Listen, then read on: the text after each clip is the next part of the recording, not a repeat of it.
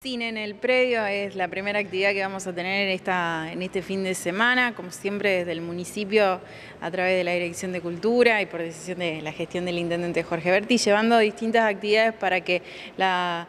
los villenses podamos encontrarnos, disfrutarnos y obviamente pasar un momento en familia y con amigos. Mañana, viernes 21 eh, horas en el predio de las dos rutas, es la cita para ver una película, eh, el Elementos, que es para toda la familia, especialmente para los chicos, pero obviamente para toda la familia. A partir de las 23 va a, haber eh, cine de terror con una película argentina que está en furor, obviamente dedicada más a los adolescentes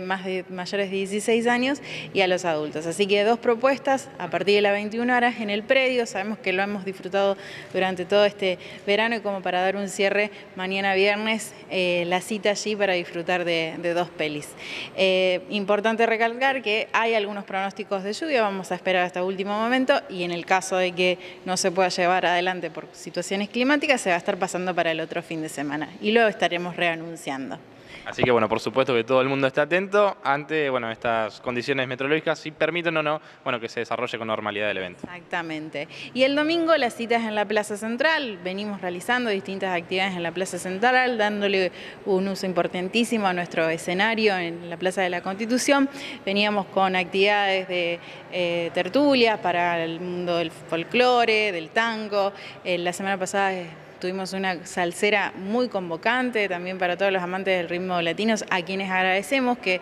se sumen a las distintas propuestas de los domingos a la tarde, porque bueno, eh, eh, está pensado para que para que todos podamos disfrutar. Y en ese sentido es que, como anticipábamos anteriormente en las semanas previas, vamos a hacer una jornada de bandas de rock, em, de bandas locales, así que bueno, la plaza este fin de semana va a estar eh, rockeando. Y bueno, por supuesto invitamos a toda la comunidad a que se sume.